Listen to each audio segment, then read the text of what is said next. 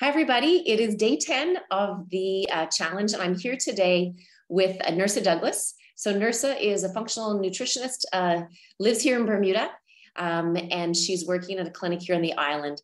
So, tonight, Nerseh and I are going to speak on, she'll talk about her experience using the Freestyle Libre personally, and then um, how gut health impacts blood sugar and some of the experiences that she shared with her clients as well.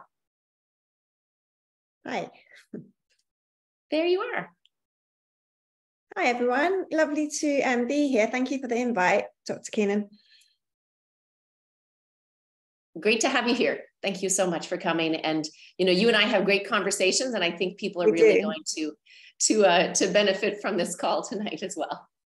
Yeah, we do. Um, just so um, everyone knows, um, I um, am really big into gut health, and um, Dr. Keenan and I often have a lot of conversations about how um, the gut pretty much governs our whole being and how important those little microorganisms really are for um, not just for the diabetes side of things, but for our overall health, our hormone balances, our mood, um, our sleep patterns.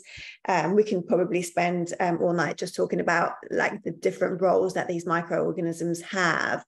Um, and actually, um, earlier on today, um, I was talking with Dr. Keenan and a few um, uh, people at the diabetes center, and I was just saying, I just wish I knew now what I knew. I, I wish 20 years ago I knew what I know now about how important our gut biome is, um, in the sense that I probably would have been having as many of the um, kind of additives and artificial sweeteners and things like that, that now we know how harmful they are to our gut biome. Um, but the good news is we can build it all back up again, depending on um, the foods that we're eating and how we're eating, um, and to try to encourage a really healthy biome.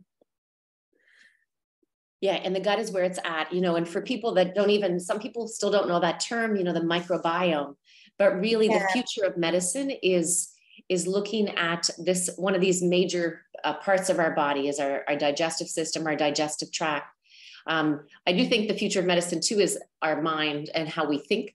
Um, but next to that, um, we definitely know that the microbiome has a huge impact. And I'll just say one story, just because I think it gets people's attention, yeah. is that to know how important the gut microbiome is, um, people are using fecal transplantation, which means transplanting the, the stool of someone else to have a better health outcome. So this has been going on now for a number of years for a bacteria called Clostridium difficile, but it's also being used experimentally for people that have extensive Crohn's, colitis, Alzheimer's disease, autism. So we know that is powerful. My friend who is a psychiatrist is also using fecal transplantation for anxiety. So when your gut is off, so many things can happen. And one of the things that we see all the time is when the gut is off, blood sugar goes up, right? We see insulin resistance. So, um, so Nerseh, tell us what was it like for you? I guess just because everyone's kind of shared when you put the Freestyle Libre monitor on. What was that kind yeah. of like? Just your own story. Um, so I was, um, I consider myself eating um, a very minimal amount of sugar. Um, obviously, like you know, I, I, like a glass of wine, but I probably wouldn't drink in the week that much. Um, in terms of refined carbs, next to zero um, unless like i don't know i'm going to a dinner or something or um, we're going out to a restaurant in which case then i'll eat as i please for the most part because i think food um, my motto is food for enjoyment. It shouldn't be a source of stress for you. As long as you care you're careful in terms of like what you're doing around it um, I, am all about the 80 20 rule personally. Um, despite that having said that and i exercise very regularly not not because of anything else but it's really good for my mental health um, I feel good after it. It's kind of like my me time. So um, most days involve, so even if it's just like a walk. Um, we have a dog that is very hyperactive that needs a lot of walking.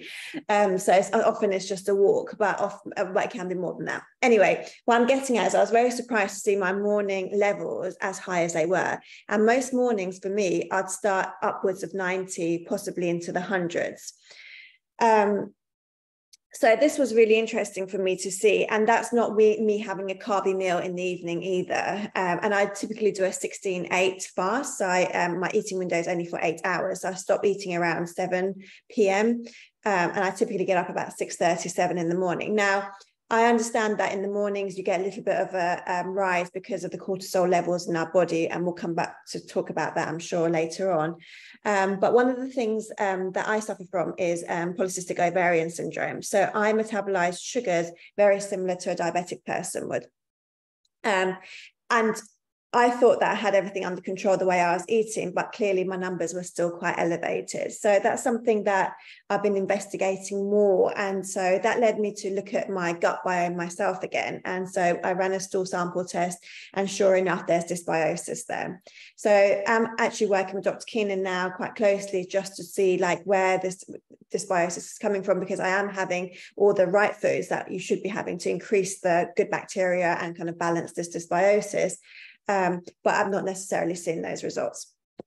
Um, so that's where I'm at with that. Um, for a typical day for me, I, unless I do a, like a 24 hour fast, which I don't typically do, but because I was having so many kind of um, bloating, gas issues, um, and things like that, I felt really uncomfortable. So I actually went and did a three day fast.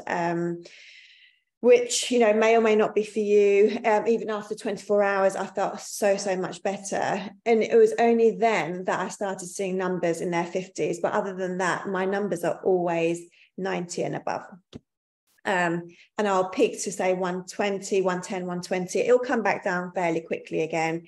Um, but I guess what I'm trying to get at is everyone's base is different. So I wouldn't get too, too hung up. Um, is that right, Dr. Keenan, about what your number is, as long as it's kind of, you know why it's going up and it's coming back down again. It's not staying elevated for a prolonged amount of time.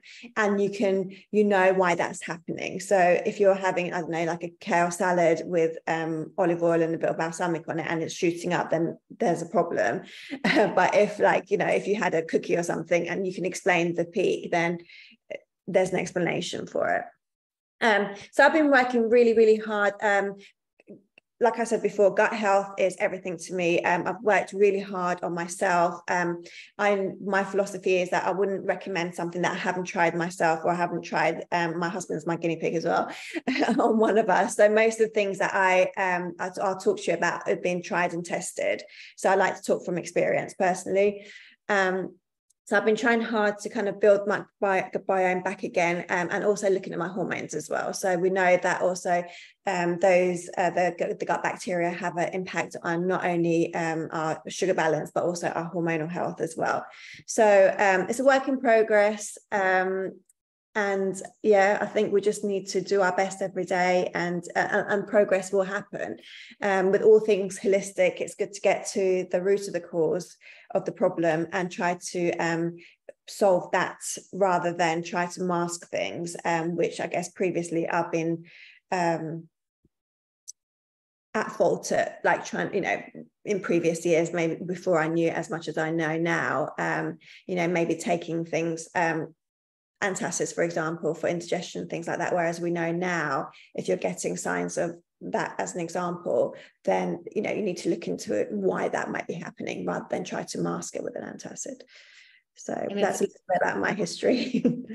but it's so great you bring those things up, Nerseh, because so many people they don't, you know, and still um, you know, we think of we just kind of band-aid solutions, you know, an antacid yeah. here, the stools aren't have to take laxatives but exactly. all of that is a sign and so you know more and more now one of my fundamental questions i ask people is what does your poop look like and I even have a diagram in my office and I say, which of these does which one?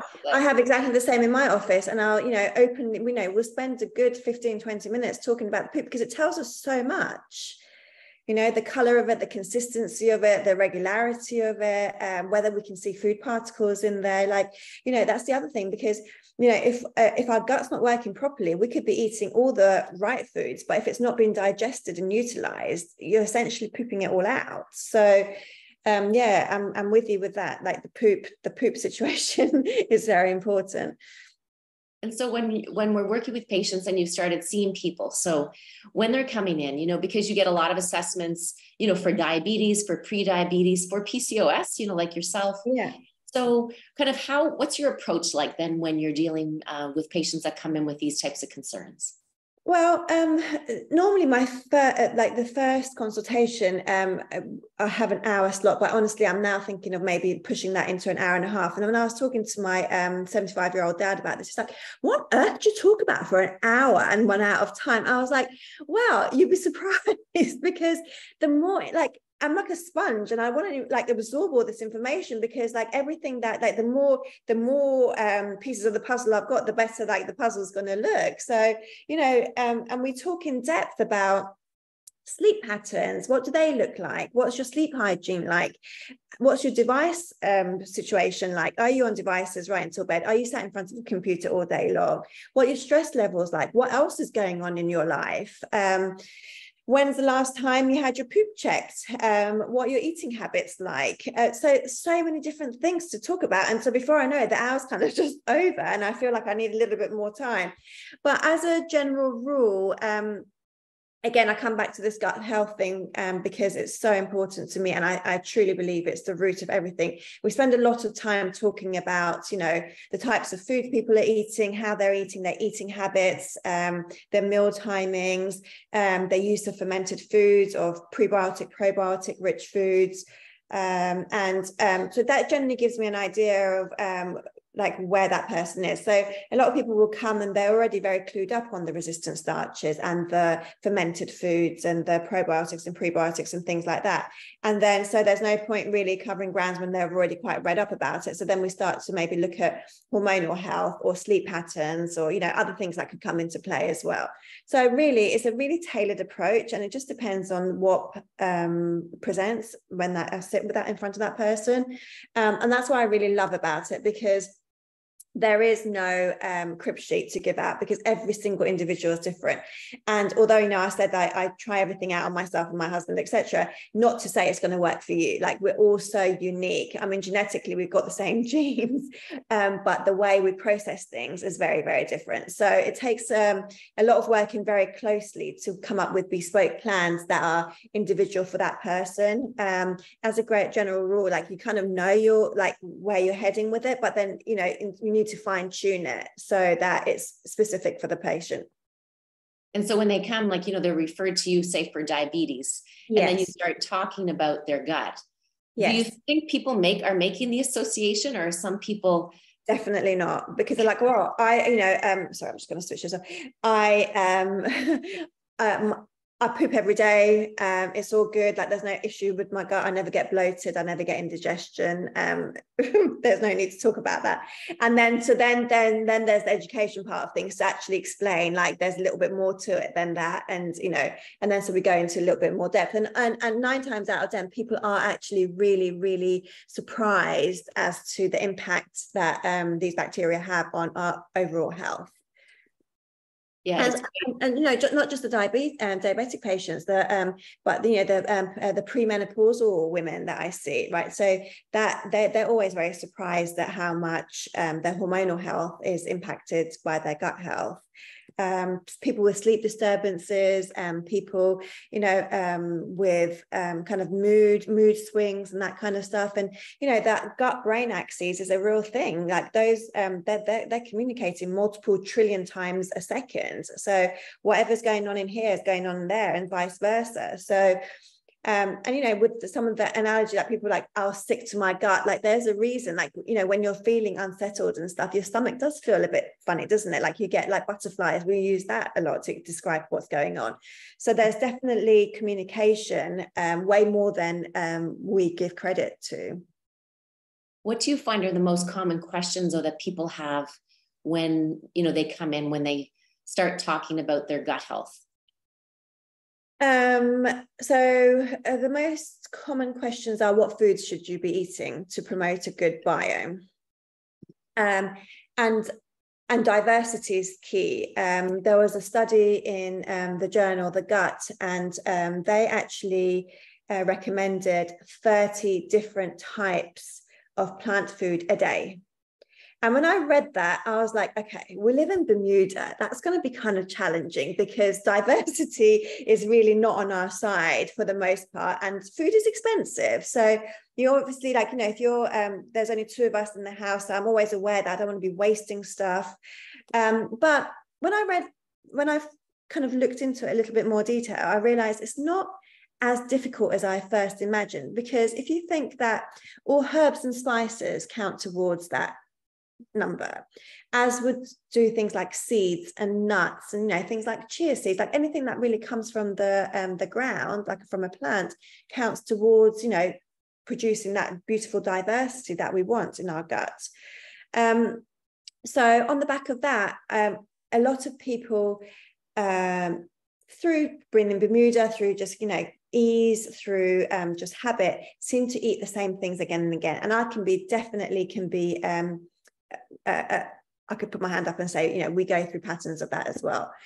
Um, but one of the things I say is like every time you go to the supermarket, try to pick up one thing that you're curious about that maybe you haven't tried before or looks different to you, even if it's just a different type of lettuce. Like if you look at all the different types of lettuce that there are available, um, ranging in different colors and textures, like, you know, most people would just go to their bog standard romaine or um, an iceberg or or maybe like a spinach leaf. But if you think about the different types of leaves that you can actually make the base of a lettuce with, right? So you've got various different types of kale on this island, right? That grows really, really freely, which is super fresh. And we know it hasn't been, you know, picked three months ago and sat on a, sat on a container somewhere.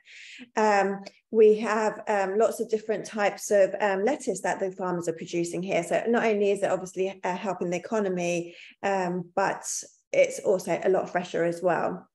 Um, so I think from um, the organic farm I bought last week, um, kale, I bought um, romaine, uh, I bought fresh Bermuda arugula. Um, so these are all different leaves that you can add in there. Then you've got things like the radicchios and more the bitter taste, which we know that is amazing for our digestion as well. So just with the lettuce alone, you could add like five or six different things without even thinking about it. Um, and, and then you got your I was going to say that you brought up to eat local because I think that's important. You know, in Canada, soon will gardens will start producing again more. But when you eat local as well, you're getting often a higher quality food because it doesn't come on that transit time. You know, you're supporting local farmers, um, yeah. and the nutrients actually can be better then much better much better because we know that the, as soon as um, the, the the produce comes out of the ground like it starts to like lose nutritional value. On top of that our soils unfortunately due to monocropping are not as rich as they would have been even a generation or two generations ago. So we can't be affording to lose any nutritional value. And you know by eating locally at least we know um, like the farm that i like to go to um, you can pick your own. Like it can't get much fresher than that. Um, or even you know the things that are available locally in bermuda and i'm sure in canada and the us and the uk as well there are kind of like organic farms that are quite fresh or farmers markets that people can go to. Um, and you know and you know this organic situation comes up where you know is it affordable is it not affordable what do we do? And then um, i personally uh, food is so incredibly expensive all over the world now um, especially in here in bermuda because a lot of our food is imported. So i always try to personally for our family um, try to buy the Dirty Dozen. I'm sure. Um, have you spoken about the Dirty Dozen at all? We haven't this far. You no. So there's a dozen foods, um, and like strawberries, for example, would be on one of those foods. Peppers would be, um, bell peppers would be there. That um, are, are known to be the dirtiest foods in terms of the amount of um, pesticides and fertilizers and things like that that are used. Um, and we know that those things are poison for our gut. So there's no point trying to feed your gut something that's going to like, but at the same time, you're poisoning it as well. So those foods I typically try to buy organic, maybe less of them, but try to buy them organically. Other things um, I'd wash in like water and um, apple cider vinegar and really rinse them off really as much as I can. Um, I feel like I've completely diverted from what we're talking oh, about. Oh no, no, we were talking about diversity and we got into gardens, which is good um, because I think organic and local is important. And yeah. you know, and we know that the diversity, the more and even for me over this last couple of years knowing that when when we look at the studies and the research it is that variety of foods you know yeah and i think people often get stuck in those patterns but we yeah. need to add in because we're going to get more the the flora that come in and the micronutrients that come in when we add variety and color you know all of these plants and you know what we eat has been put on the planet for us for reasons right exactly and you know that um all the um, the bacteria have their own i like to say their own favorite foods. So if we're just eating like a small variety of foods we're only really eat feeding a small population of those guys but whereas we want like a massive big diverse colony right? So we want as many of the the diversity is important as the numbers because they all have their different roles we know now. So you know your brightly colored foods like you know your beetroots your bell peppers your berries like the, certain bacteria absolutely love those. Um, your green leafy vegetables they provide like um, the fiber that the other kind of bacteria like to feed off of. So the diversity is really really important. Other things that you could add as well to your food that won't necessarily cost much would be herbs and spices. Um, let's not forget they come from the ground as well. So using you know seasonings like um, coriander seeds and turmeric and um, um, I don't know what other, you know, um, garlic, um, onions, all those kind of things that don't necessarily cost a huge amount, but they do have a massive impact on our gut health. So don't be afraid to use um, seasonings and spices and herbs to flavor your food. And often you'll find that um, you probably eat less because the more flavors there are, the the more satisfied you'll be in eating. So you're not if, whereas a bland meal you're kind of just like eating it and you're just like not really feeling um, satisfied i guess. So you kind of just keep eating in order to feel satisfied but that's not coming because the taste buds aren't being tantalized.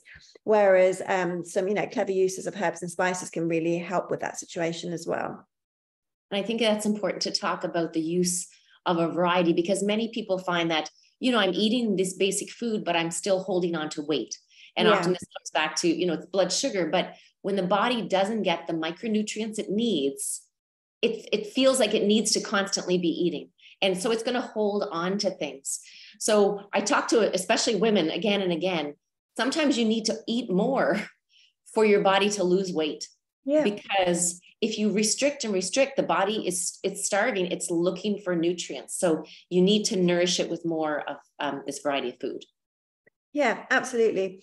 Um, and you know all the all, if you think about all the different colored vegetables as well and all the different colored fruits and you know with the fruits i know some people um there's fruits are they are nature's candies but we need to find a way of fitting them in as well because obviously like they bring they bring a whole host of um, nutritional value as well. So you know we always i always talk about um, trying to add maybe um, some fruit to a, a, a cruciferous um, rich salad because now you've got that beautiful fiber in there from the leaves and everything else and you're throwing in like i don't know some blueberries blackberries whatever you want to use some, peach slices when they come into season um, grilled on a barbecue work really well in the salad. So try to incorporate it but without there, there are ways of having fruit without spiking your blood glucose levels is what i'm trying to say.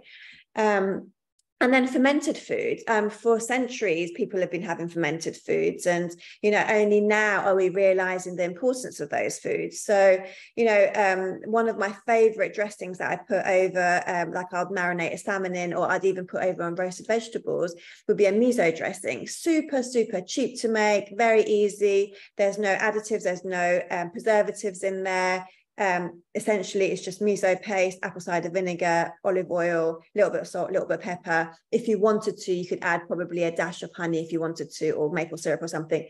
Put it in a jam jar, give it a good mix, and it will it will obviously separate, but you can just give it a mix and stays in the fridge, and it's good for for weeks.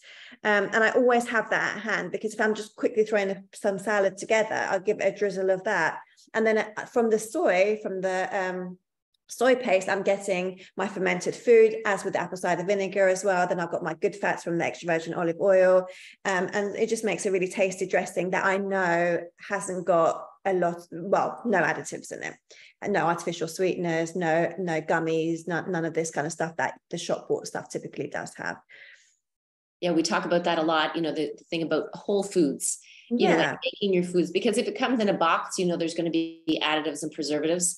And yeah. plus most box foods are going to have a lot of sugar, they have refined products, and that's Yeah. when the natural ingredients come in.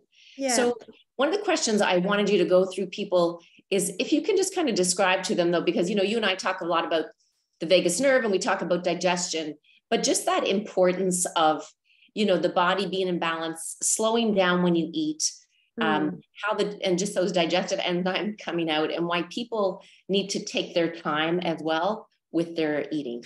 Yeah. So um so digestion starts obviously the second that food goes into your mouth because um your your um the the, the brain and the gut kind of start to communicate the digestive enzymes are then produced.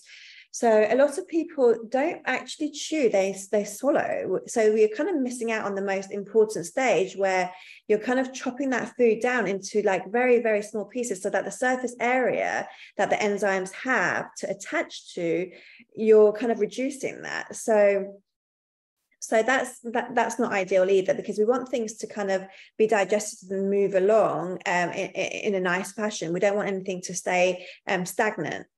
Um, and then by eating super slowly, then you know the, the gut and the brain have time to kind of communicate so that the, the next stage that the more more digestive juices are produced so that they can do their job. So as um, the food goes down the GI tract, each section of uh, the, the GI tract has its own um, enzymes that work on different food groups. Um, the problem with um, not sitting down and being on the go all the time is that obviously that doesn't happen because your body is not really catching up with what's happening. But also our stress levels, like if you're, um, we spoke about that at diabetes center, like you might not feel you're stressed, but your body would be stressed because you're not actually sitting down and calming your nervous system down to actually enjoy and savor the food. And rather you're just like putting food down your mouth without actually um, noting what's happening.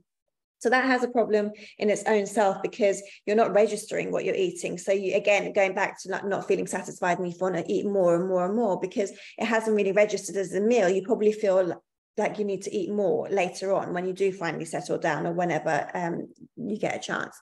Um, and then so our stress hormone is cortisol the higher our stress levels are the higher the cortisol levels are and again it could be through to like mental stress or physical stress uh, and as those um, as cortisol goes up digestion can't happen because your body is getting ready for a fight or flight situation. So digesting food and absorbing it is not going to be the top of the priority. So then what happens is that food seems to linger around longer than it should and certain things start to ferment where they're not supposed to ferment. And then we see signs of acid reflux, that kind of burning sensation at the back of the throat, um that kind of like the the the after like you know sometimes like when you eat something you kind of like taste it after half an hour or so an hour whenever it comes back up at you.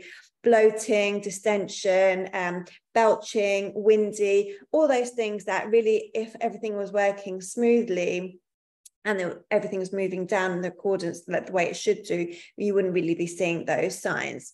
Uh, and then again it can lead to um, diarrhea it could lead to constipation and all sorts of other things um, on the on the exit as well. So sitting down um, trying not to have distractions in terms of like um, devices computer work like trying to take yourself outside of your work situation for as much as possible. Like if you can just sit outside and get some fresh air in try to calm your mind down try to activate your um, parasympathetic nervous system uh, as much as possible, eat in a calm fashion, um, and just chew. Like we always say, try to put your fork down between each mouthful. Now, I appreciate that might not be always um, accessible or available, or you might not want to do that, but just be really mindful that you're taking small bitefuls and chewing, chewing, chewing, really chewing before you swallow that food down to give it its best chance of um, having the enzymes attaching to that large surface area to be absorbed.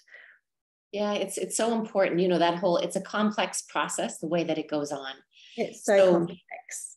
And but yet, you know, it's it's just really about paying attention, being mindful, like you said, getting out of fight or flight.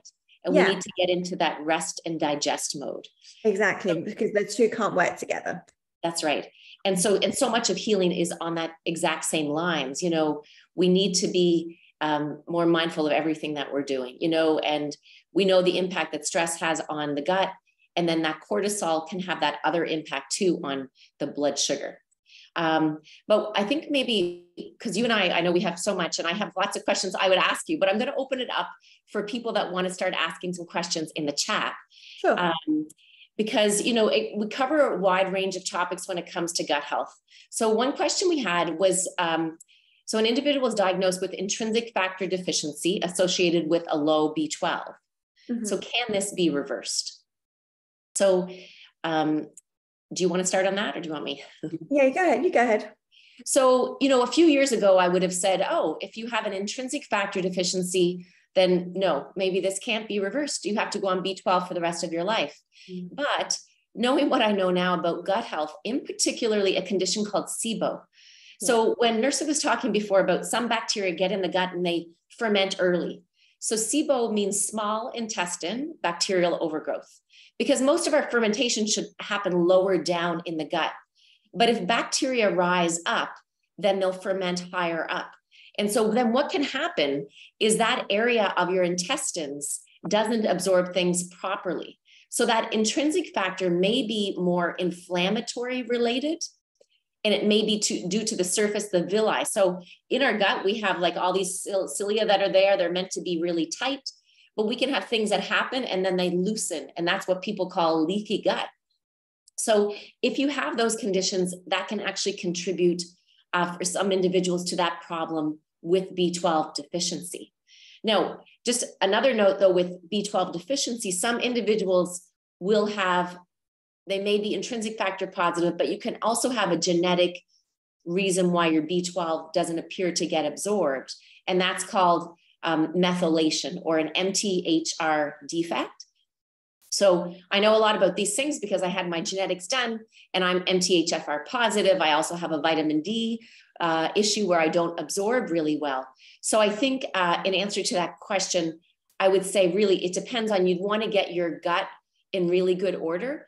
Um, and of course, too, I, Nerseh, I didn't mention celiac disease, right? Because you know, for individuals that have celiac, um, then often they're going to have issues with uh, B12 absorption. Mm-hmm.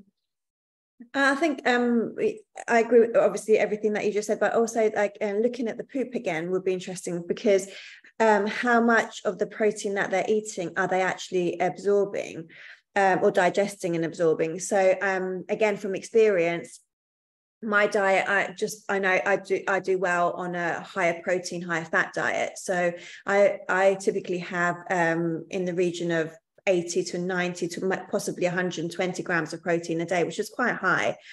And when i did my functional blood work with dr keenan um, the protein content um, was showing low. And then again, when we did the stool sample testing, the first time round I ever did it, we saw that I'm not actually digesting proteins because there was a lot of undigested protein. So it could eat. So again, it goes back to like, you know, let's look a little bit further as to other things that could be going on as well. Yeah. And she commented that she does have vitamin D issues and her daughter has MTHFR. So okay and you know some people might be there well oh do i need to get tested for all these things mm-hmm. you know hmm. we can get an indication from your blood work so just for people that may be curious so um, you know methylation and b12 it, it is a problem that you know can affect many individuals i think 30% of the population can have an um, uh, of a defect and so that they may have issues with b12 absorption but if you have a healthy gut and you have a good lifestyle then that may not be an issue for you but if you have health, if you have gut issues, then even if you, then that's where that genetic defect is going to be expressed more. So I don't think we all necessarily need the genetic profiling, though it is helpful. And if you have the money, it can be good test, a good test to get. The company I've used is called the DNA Company. Um, they're based originally out of Guelph, Canada, but they, you can purchase the kits in Canada or, or in America. But it's really it's the function. So looking at what is your vitamin D level? Are you, and then getting your level rechecked to see, are you absorbing your vitamin D? And just like with, so with B12, the test that I measure in the office would be a basic B12 level, but I measure something called homocysteine. So this is a little beyond and above what we're talking about with blood sugar. But if your homocysteine level is up and your B12 is low, that can be another indication that maybe this is more likely an MTHFR problem. Um, and then if that's the case, then you know, it depends on supplementation and it depends on your whole health picture. And that's why every body is unique, you know. And one of the things in medicine that actually it makes me more excited now, I guess, this last 10 years. And the reason that I got, you know, so much into gut health is because I had gut health problems, right? And I had to solve some things. Um, but it's that every body is unique. And so as we start to work on treatment plans, just like Nerseh said when she started, it really has to be customized because what might work for you may not work for another. Just like tonight, we were talking about someone said that they can have Ezekiel bread. So Ezekiel bread is you, you can buy it in most frozen sections in grocery stores. And several people said it's the only thing that doesn't spike my blood sugar, where other people were talking about different types of breads. So it's really looking at um, your overall picture. And what we're trying to give you here is information and education so that you can start to ask the right questions. So when you see your doctor, um, you can ask those questions. And then if you don't get the answers, then you can find a functional physician, you can find a naturopath, you can find a functional nutritionist, someone that can help you as well further on in your journey. Mm-hmm. Good. Okay. So, do we have any other questions um, through our chat? Or while they're coming up, I want to ask Nerseh then. Okay. Let's talk um, resistant starches. Okay. So I know a lot of people have heard those, probably heard of starches, but I don't think many people know what a resistant starch is. So resistant starches are really um, an interesting one, especially for people that are um, uh, struggling with balancing their blood glucose levels because essentially we we don't absorb much um, of those starches because um, in the word, they're resistant to breakdown pretty much by us. But boy, oh boy, do those bacteria in the colon love them and they feed up on them and then they help to produce what we call short chain fatty acids, which we know has a major impact um, on our overall health and has an anti-inflammatory effect as well. So short chain, um, so resistant starches would be things like um, potatoes and rice. if you cook them, it doesn't matter which type it is, if you cook them, cool them, they become resistant, even if you reheat them again. So that's a really easy hack to make, actually. So just if you could um, cook a little bit ahead of time or for leftovers, so things like potato salads would be really good, uh, rice salad would be really good. But even if you wanted to have a regular rice dish, you could just, if you were, you know, to cook it a little bit ahead of time, stick it in your fridge for about 20 minutes and then heat it back up again stovetop it will become a resistant starch. So as I said, like the amount of starch that we or glucose that we would absorb would be much, much, much less than what it would have been had it not been the resistant. Other things would be green bananas and plantain. Now, plantain's not really part of um, my cooking i haven't i wasn't brought up cooking it. I didn't really know what to do with it. I honestly didn't even know like what what, what to like what to look for. Like how do i know if it's a right plantain or not? So i've been through back and forth a lot and experimented with the plantain situation. And i finally found out which one is a good one. So essentially you want it to look like it's going bad. So it's just got black spots all over.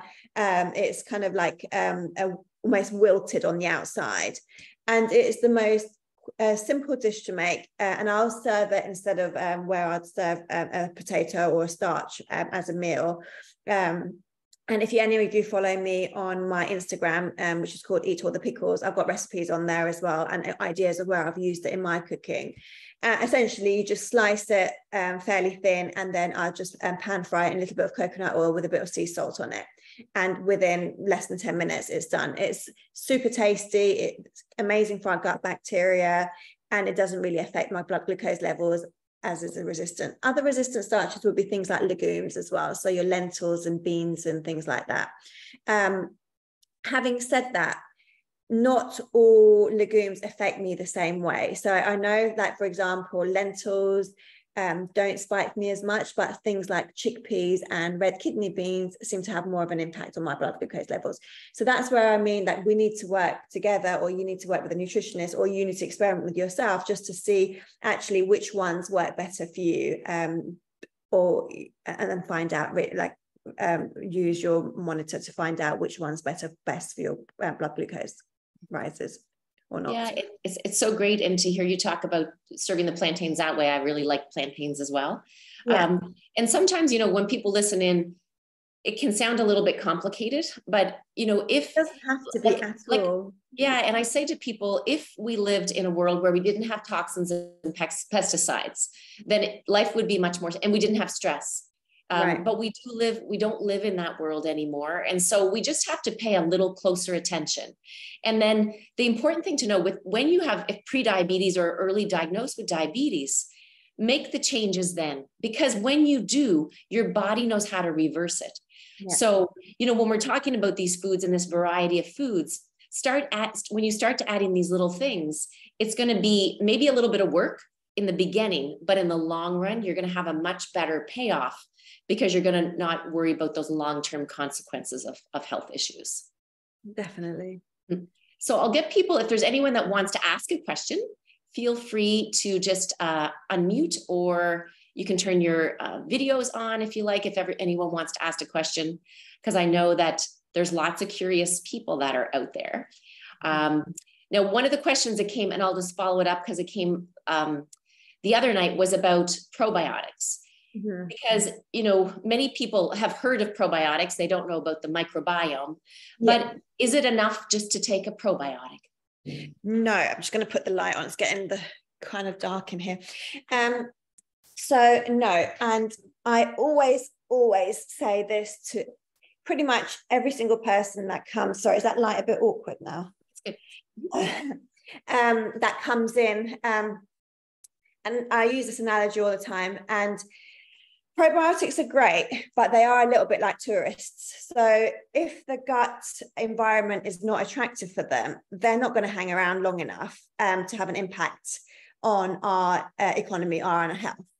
So, like tourists, if they go visiting somewhere for the day and it's not really attractive for them, they're probably going to get on the bus and carry on going to wherever else they're going. They're not going to hang around long enough to have an impact. So, um, probiotics vary a lot in price, as we know. Um, I mean, the supplement thing is a whole other conversation that maybe we can have another day. But, you know, people often spend quite a lot of money on these things and they can be rather expensive. Um, it's absolutely pointless putting them, like taking a supplement, a probiotic supplement, if you're not going to feed those bacteria. So all the um, the resistant starches we spoke about, the uh, the cruciferous, the dark green leafy vegetables, um, your different kind of that eat the rainbow, the, the color, the, the most the, mo- the more colorful the vegetable, the more um, those bacteria love them. Um, the diversity of your um, food that you're having. So if you're not going to kind of feed them then your fermented foods, how can I forget? So all of those things are going to make those bacteria hang around long enough to make an impact on our health and, and, and improve the diversity um, of the gut biome. Yeah, and I think answer your question. Yeah, and it's and I think it's one of those things though too. It took, you know, as I was learning about this, you know, myself, you know, it's only the last couple of years we're hearing more about these prebiotics, right? And that, that's what we mean is that those good quality foods that feed the, probiotic you know or the other you know bacteria that are living in our gut. Yeah. um, and people don't quite understand that link yet that we need like you said we need the, the good bacteria but we need the food to feed the good bacteria Absolutely. And I think some of that is clever marketing as well um, from the companies that make these supplements. And they make it sound like, you know, pop a pill and then you're going to get 50 billion parts per capsule and, you know, jobs are good and, and you're good to go. And um, what they fail to tell you is that you need to actually like feed these guys for them to hang around long enough. Um, so it's a little bit of, um, and, you know, it, it, makes me sad because, again, like p- people make a lot of money on other people's ignorance uh, and through clever marketing. So, um, but it is what it is. So that's where I think it it pays to do a little bit of research yourself as well. Um, a question about rice and potatoes. Yes. So if you drain it under cold water just to cool it off, would that work as well for decreasing the starch? For the questions about decreasing the starch content by just rinsing yeah. them. I would rinse it off anyway to get the starch off. Um, and, you know, again, like depending on how you cook your rice, the starch content can be really high or lower. Um, so typically, I'm a, a per, from Persian origin. So my mum would rinse and rinse and rinse the rice until literally the water was clear. Whereas I know, like in certain um, cultures, they would maybe not even rinse the rice at all. And the rice becomes quite kind of sticky and kind of more like sushi kind of texture, right? So there's um, clumpy. So um, the way you prepare your rice makes a big difference on the starch. Um, going back to whether it's resistant or not by just rinsing it, no, you'd have to, I would, what, what I'd typically do is I'd cook it, I'd rinse it and I'd stick it in the fridge for about 20 minutes and then I'd reheat it back up again. And then someone commented that pressure cooking can help as well. If you cool, like if you cook it in the pressure cooker, cool it down, and then just heat it up. I guess referring to yeah, yeah, a way of a better way of cooking things. Mm-hmm. Yeah. Any other questions out from our field? I guess we are getting up to 45 minutes too. So, um, well, I guess I just want to thank you so much, Nerseh, for being here. Is there any other, I know we have so much to share, but is there anything else that you wanted, a message that you wanted to leave people with tonight? yeah, I'd say, um, you know, in, enjoy your food. Like food, um, going back to my motto, it shouldn't be a source of stress. It's, it's for enjoyment. Um, but just pay attention to like what you're eating, how you're eating. Are you enjoying what you're eating? Um, and if you're ticking all those boxes, I think you're on the right track.